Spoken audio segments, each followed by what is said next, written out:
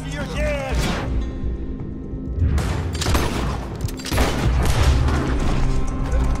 Your mom, put it down!